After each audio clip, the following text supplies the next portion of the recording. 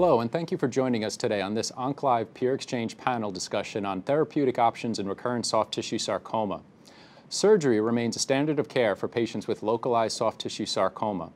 Advances in systemic therapy have improved survival, but also added to the complexity of treating this rare disease. Today, our panel of experts will present data regarding several newer therapeutic options and discuss important factors that can help guide treatment decisions. My name is Dr. William Tap, and I am Chief of the Sarcoma Medical Oncology Service at Memorial Sloan Kettering Cancer Center in New York. Participating today on our distinguished panel is Dr. Mark Agulnik, who's Associate Professor of Medicine in the Division of Hematology Oncology at the Feinberg School of Medicine, Northwestern University in Chicago, Illinois, Dr. George Demetri, who is professor of medicine at Harvard Medical School and director of the Center for Sarcoma and Bone Oncology at Dana-Farber Cancer Center, Cancer Institute in Boston, Massachusetts. Dr. Martee Hensley is attending physician of gynecological medical oncology at Memorial Sloan Kettering and a professor of medicine at Weill Cornell Medical College in New York. And Dr. Shreyas Patel, a Robert R. Herring Distinguished Professor and Medical Director in the Sarcoma Center at the University of Texas MD Anderson Center in Houston, Texas. And Dr. Damon Reed is the Director of Adolescents and Young Adult Program at the Moffitt Cancer Center. So to start, I think it would be important to discuss a little bit about soft tissue sarcoma and what that represents as a disease entity for us who see these diseases on a routine experts. I'd actually like to start off with Dr. Damon Reed to discuss a little bit about what are some of the challenges in soft tissue sarcomas. I think there are a lot of challenges in, in managing soft tissue sarcomas. I, I think one of the challenges begins with a, a lack of suspicion of so, soft tissue sarcoma in many cases. Uh, many times a patient has a mass that is painless and may have been there for a while, and there's no suspicion, suspicion that this could be something malignant. Mm -hmm. uh, thus, a biopsy happens uh, well outside of a cancer center, and only when the pathologist starts to look at this do they see that there uh, could be a bigger problem. Um, even when soft tissue sarcoma is suspected, the diagnosis is not exactly easy. And uh, cooperative multidisciplinary tumor boards whereby the radiology and the pathology and the clinical expertise and the story behind the patient are all brought together really helps maximize the chance of making the correct diagnosis. Mm -hmm. Yeah, I agree. I mean, I think one of the biggest challenges is that this is a very rare and heterogeneous disease. So it's often difficult to get knowledge to patients out in the community or even for a community oncologist. Dr. Demetri, do you have any? Yeah, I think one of the challenges, all of us work at academic referral centers. We're used to seeing a lot of sarcomas. We forget sometimes that our brethren in the community see a lot more benign lumps than malignancies. And so I think Damon's right, that by the time we understand that something's there and it's a problem, uh, it, it, may be that something's already happened. And so very often it's referred to us after an initial operation. We try very hard to have our referring physicians always consider the diagnosis sarcoma, even though we know that the denominator of benign lumps is much more common. We have a bit of a special challenge in gynecologic sarcomas because it's a little harder to get to the tissue. And there is not um, pre-surgical imaging that definitely tells us whether cancer is present or not. So the management of growing fibroids in a postmenopausal woman, for example, really ought to be um, very thoughtful and um, sometimes might need to be managed already by a gynecologic oncologist rather than by a benign gynecologist, even before we have any histologic proof of cancer. I also think we're, we're dealing with a younger population often, and I think it's a population that, one, doesn't have primary care physicians, and often people don't think about malignancy um, in that 20 to 39 year range and therefore it's not an area where they necessarily have access to medical care as easily as someone that might be 65 and older that's seeing their primary care for hypertension and other illnesses.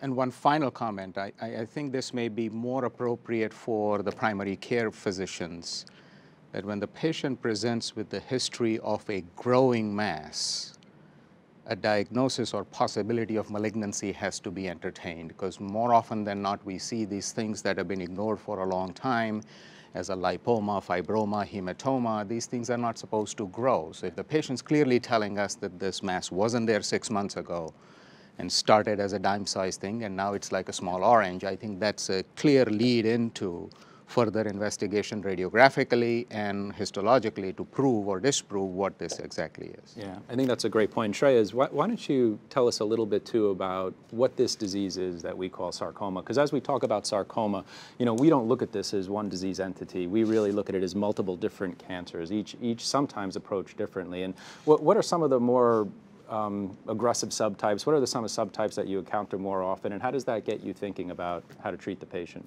So we've thrown the term around that this is a very heterogeneous disease and a rare disease, but just for, for, for, for, the numbers to be out there, I think depending on how much of a stickler for details one is, there can be somewhere between 50 to 75 different types of soft tissue sarcomas, right?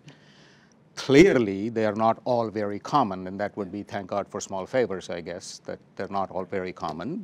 But the more common ones tend to be liposarcomas, leiomyosarcomas, and what is now called undifferentiated pleomorphic sarcoma that used to be called malignant fibrous histiocytoma in the past.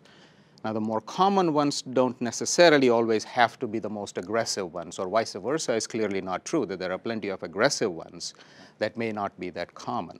And from an aggressiveness standpoint, I think we'll come back to the prognostic factor dis discussion a little bit later in the, in, in the course of the, of the session.